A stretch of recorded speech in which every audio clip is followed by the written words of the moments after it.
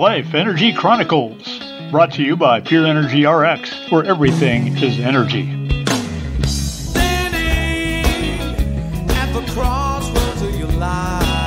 Revisiting abundance. I stepped outside one spring day into one of those scrumptious southern Kansas sunny days and paused, taking a long, slow breath, reveling in the sunshine. Everything smelled so alive and abundant. Just then I noticed locust tree seed pods all around, gently broken loose from their parent tree nearby, scattered everywhere. Blossoms were bursting out on several trees, each blossom to become a plum or a crabapple. I saw other plants all around that had matured, with fat packets of seeds ready to randomly journey off on the wings of nature's winds and rains. It struck me how wonderfully abundant everything is. Nature constantly proves this to us in the plant kingdom, where hundreds or thousands of seeds are released from a single plant, or thousands of fruits fall from every single millions of trees in hopes that many of them will take root and flourish. I then tuned into the idea that God, nature, is continually sending us seeds of success, nourishment, and opportunity every moment. And if only one of those seeds lands in the right circumstances, the correct environment, with the right timing, will change your life. How many of these seeds do we ignore, too, or misperceive them as not being valuable? An ancient alchemical truth states that the solution to a problem is within the problem itself. The answer to a question is within the question. A trap is defined by the way out of it. All of these ideas demonstrate the illusion of not knowing, pointed out by the mystical declaration, Knock and it shall be opened to you, or Ask and it is answered. Many times in my life I've felt like I've really got a big problem. And every time the problem resolves, it suddenly seems so simple. But it didn't look so simple when I had the problem. I would sometimes wonder if having the problem was really a sort of substitute for having the solution. As John Lennon aptly put it, there are no problems, only solutions.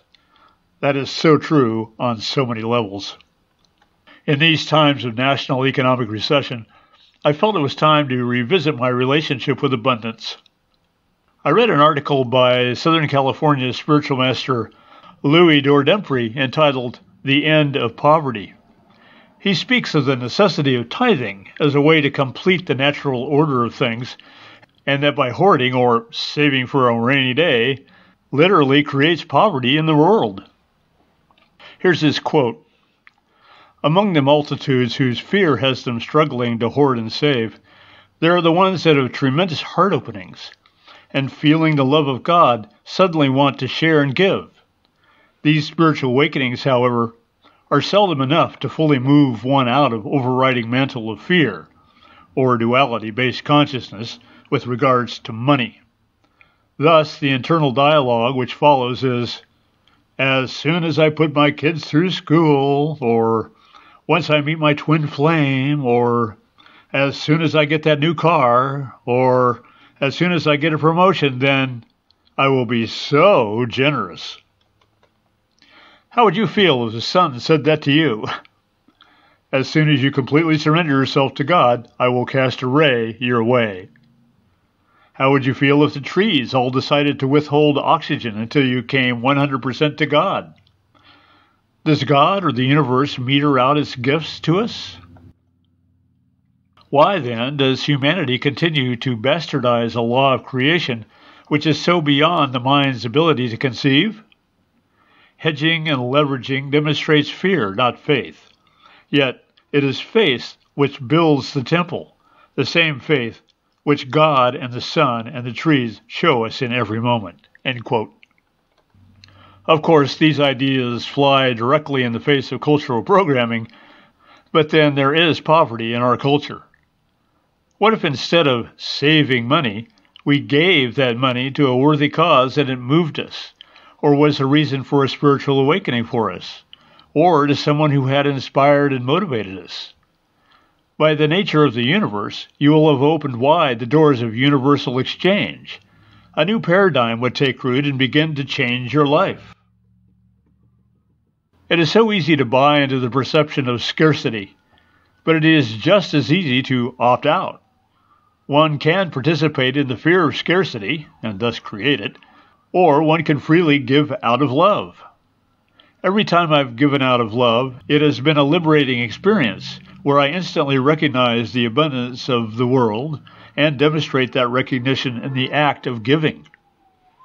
I remember reading the John Randolph Price book, Planetary Commission, when it came out in 1987. In it, Price laid out the 40 day abundance program, which I attempted to undertake without completing it. You know, life got in the way, and I had succumbed to the cultural programming of scarcity and hoarding. Since then, Price re released the program 10 years later as The Abundance Book, with some new backstory. I've ordered the book and look forward to doing the program, this time to completion. The point that both Price and Louis Dor Dempriey make about abundance is that most of us mistakenly assign the source of abundance to money instead of God. It is the creative energy within us all that is actively creating all aspects of our reality. If we believe there is only so much money available, then that's the exact amount that's available. If we believe that we must save for that rainy day, then the rainy day inevitably comes. This is just the reverse of the actual higher reality. In this reality, everything is provided for already, and the trick is embracing that as the truth. It takes building up evidence through experience. It takes experimentation, and it takes observation of our own thoughts and mindfulness about our behaviors. How are we talking about what we have or don't have? How are we thinking about this? How do we respond to wealthy people? How do we respond to those who are destitute? All of these actions, attitudes, and intentions add up to the sum of our experience. In the shamanic world, there is nothing but universal exchange. The very act of setting an intention rearranges the universe to accommodate that intention. This means that the intention could not have been formed if its manifestation was not possible all the resources become instantly available upon the setting of an intent. By not believing this, a counter intention has already been placed and energized. In shamanism, it's particularly important that beliefs mirror intention and that words, deeds, and thoughts all align. If they do not, the original intention becomes polluted and its manifestation grinds to a halt. I believe we are all shamans, we are all creating our realities, and this makes us creators. The only difference between a person who says they are a shaman and a person who doesn't is an awareness of creation. You are a shaman if you are aware that everything happening to you was created by you. So, shamans, unite! Let's clear out the poverty of our lives and live the reality of universal abundance. Life Energy Chronicles, brought to you by Pure Energy RX, where everything is energy. Standing at the crossroads of your life.